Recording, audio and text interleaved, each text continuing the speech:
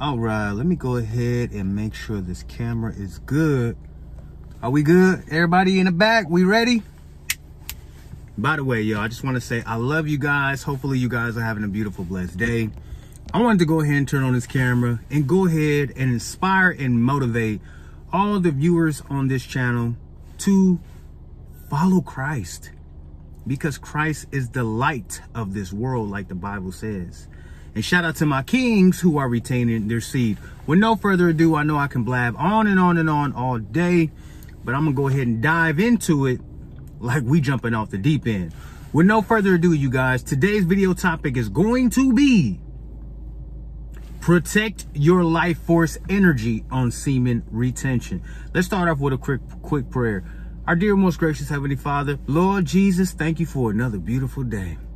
Thank you for loving us and loving me for who we are and knowing that through the trials and tribulations, you will guide us, lead us, protect us because you are our provider, our waymaker, the beginning, the end, the alpha and the omega. And it is your love that heals us and sets us free. I don't know who this message is for, Lord, but I pray that this message goes out to them, their family, their children, their co-workers, their peers their neighbors, their friends. In Jesus' mighty name, I pray. Amen. All right, you guys. Sorry that I had to get all, you know, a preacher on y'all guys. You know what I'm saying? But God got me in the zone right now. All right, you guys. So we fresh off the clock. This stuff don't stop. I wanted to go ahead and turn this camera on so I can continue the mission that God has set out for me. Because guess what, you guys? We all have an expiration date on our life.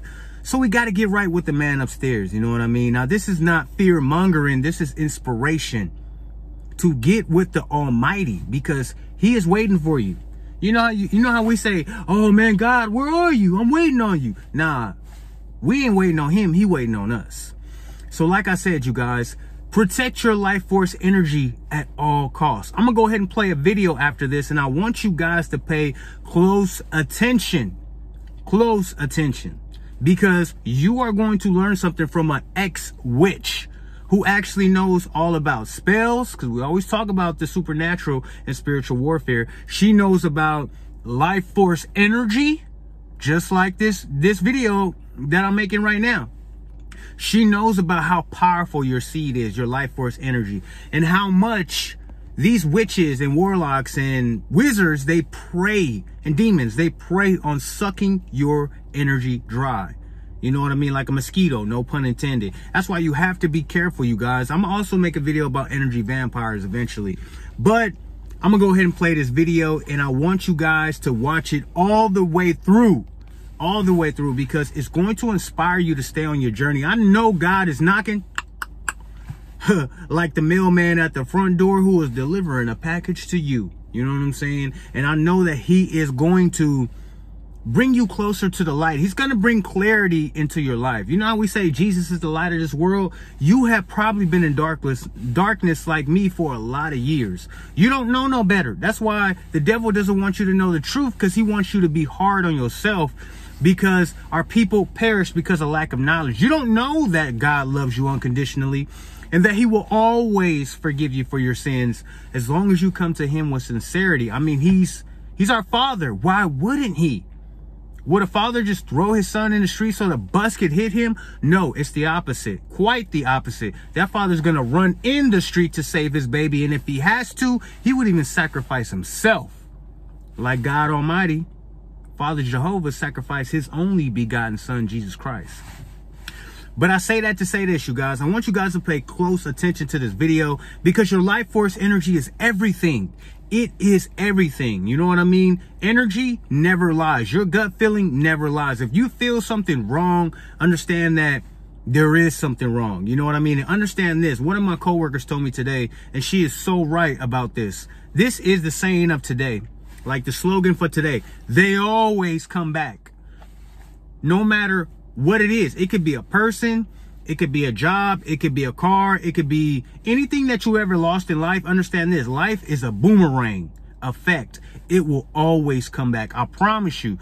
Your spirit and energy never lies. If you feel something in your gut, just know, continue to follow your gut feeling because I'm pretty sure that's God calling you and trying to nudge you. Hey, hey, hey, come on, man. You know what I mean? Through your discernment. through your spiritual feeling that, man, something, hmm, I don't know, man. Marlon the messenger right now, he's, he's what? He's setting off a light bulb in my head.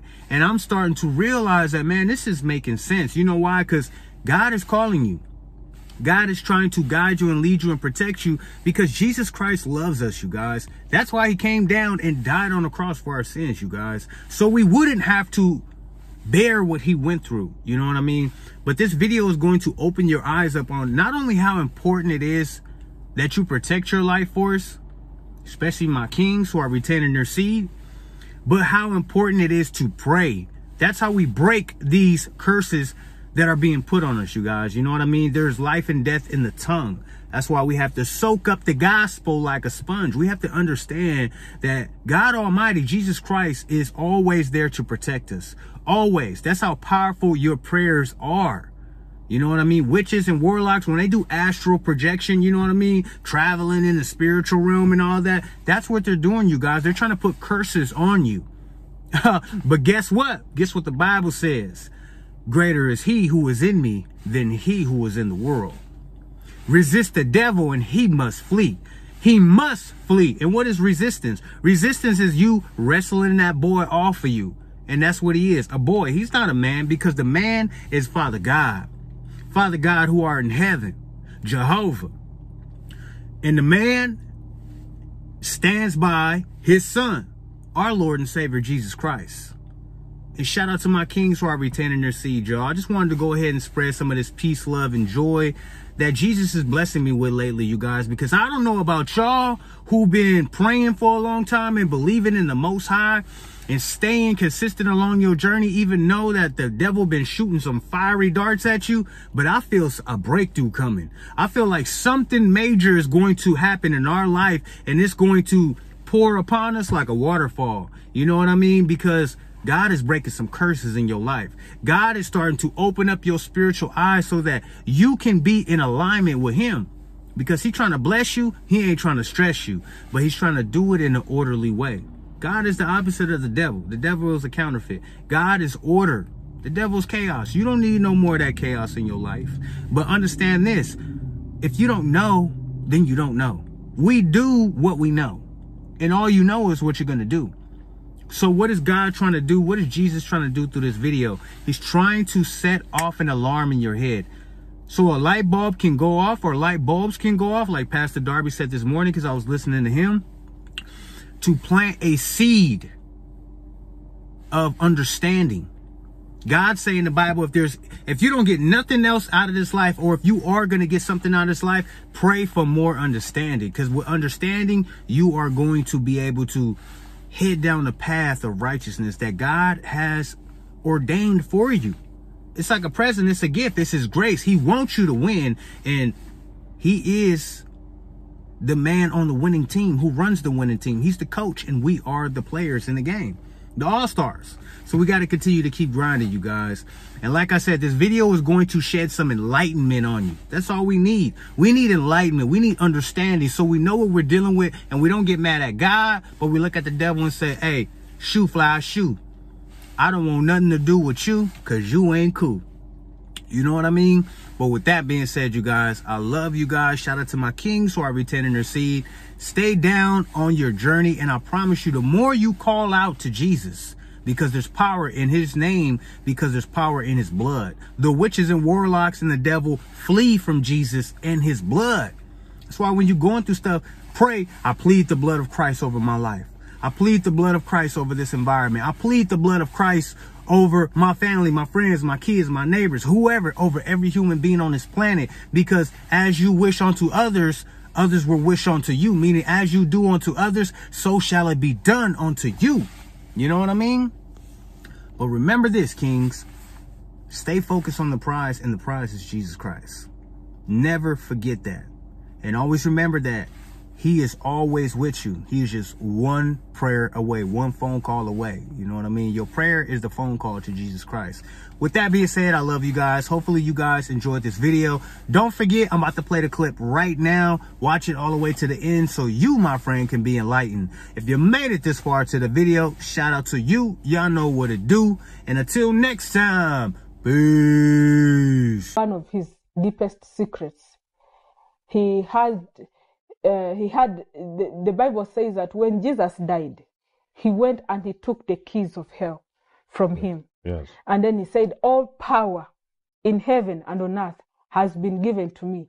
The power that Jesus was talking about is the power that God had given man, and Satan had taken it from man when he deceived man. So, what Jesus went to do was to restore whatever the enemy had stolen from us and give it to us.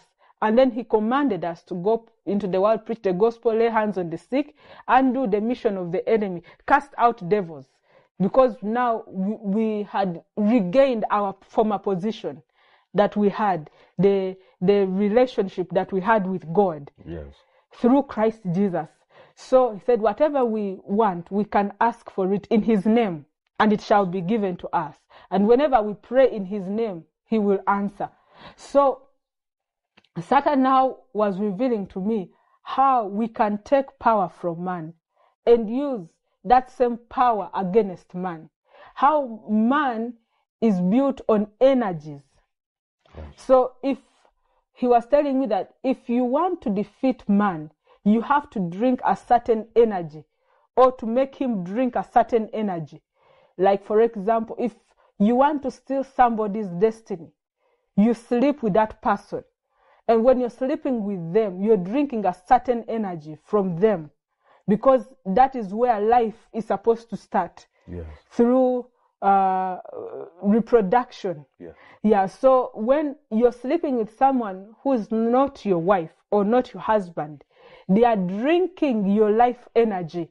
Yeah. And when they drink that life energy, they leave you dry and they steal your they steal all your life Let's virtue. yes that, that virtue from you and then that's there are some men uh, he dates a girl when he's rich and then from the time he starts sleeping with a girl his business begins to go down and then the girl begins to prosper that girl has stolen the man's Virtue. yes and the man is an empty vessel so Indeed, the word says, by means of a whorish woman, Mm. a man is reduced to a piece of bread. Yes, yeah. So uh, Satan, Satan now training me. If you want to disorganize somebody's life, you have to create an atmosphere, a conducive atmosphere for you to drink the energies from him. If you cannot sleep with that person, anger the person. So has anybody tried to get into a relationship with you and then you you turn them down and then they start now disturbing you on social media they start calling you they start bothering you and then now you're quarreling with them. When you're quarreling with them they know what they are doing.